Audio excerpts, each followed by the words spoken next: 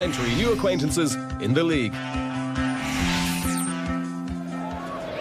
Been a long time coming. This game between these great North Dublin rivals. There was a foul by Dan Casey on Kilduff. Now quickly taken free kick. Chance perhaps for Shells here. Oh, it's bounced off the crossbar. And Kilduff following in.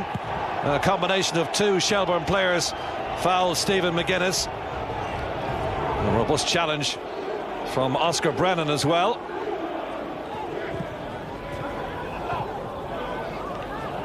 There's Lorcan Fitzgerald, the former Bohemians player, trying to get something going for the visitors. There's ball into Andre Wright. Right! Oh, he just couldn't wrap his foot around the dropping ball. The defender may have put him off there. Decent ball into the box right there, just waiting for the dropping ball, but the defender just may have put him off in the act of shooting. Great atmosphere around this famous old ground. Uh, Kilduff, a little tug on the jersey by Rob Cornwall. Might be lucky just to get away with a talking to by referee Neil Doyle. Clear pull on the jersey. That deserved a yellow. So Kilduff in the area as the wall is pushed back the necessary 10 by referee Doyle. Andrew in the wall. It's going to be Fitzgerald to take this, probably just dink it into the area. Left-footed, Fitzgerald. And the header from Shepherd straight into the goalkeeper's arms. Fitzgerald with a cross, Shepherd with the header. Easy save in the end for McGuinness. There's been plenty of action, but sadly so far, no goals. Here's Aidan Friel for Shelbourne. Here's a chance perhaps for Aaron Dobbs. Oh, he's dragged his shot across goal. Maybe Kilduff could have gambled on the ball going across the six-yard box. Nice little layoff ball into Dobbs, and he put it across the area, and Kilduff, well, he didn't arrive late, and the ball's gone out for a goal kick.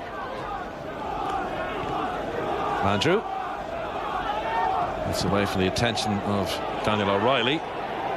This is Paddy Kirk. And now Danny Grant hugging that left-hand touchline. The Shelbourne players backing away.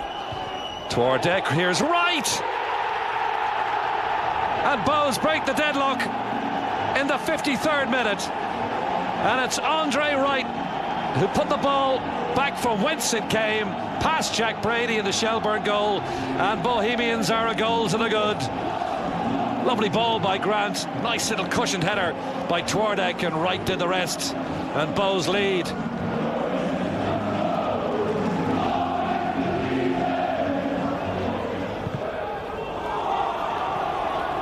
finding the run of Shepherd. Oh, it's brilliant from Shepherd.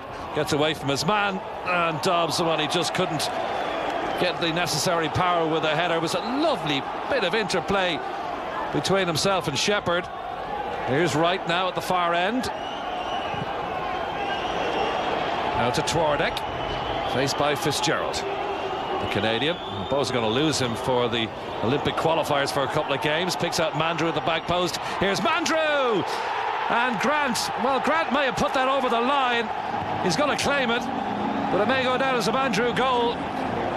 It matters not for Bohemians because they now lead by two goals to nil in the 62nd minute. Mandroiu, little dig to the back post, and uh, that may have gone in without any interception for Grant. Oh, he's peeled away. Looked like he was claiming the goal. It's Mandroiu's. It's 2 0. Bohs on the break with Twardek. Little layoff ball, a chance for 3-0. And the substitute, Glen McAuley, beats the goalkeeper, but can't beat his near post. A breakaway opportunity for McAuley, and he just can't finish. And remains 2-0. There goes the final whistle. So the bragging rights for Keith Long and Bohemians as he comes to shake hands with his opposite number, Ian Morris. Very entertaining game at Dalymount Park. Bohemians 2, Shelbourne nil.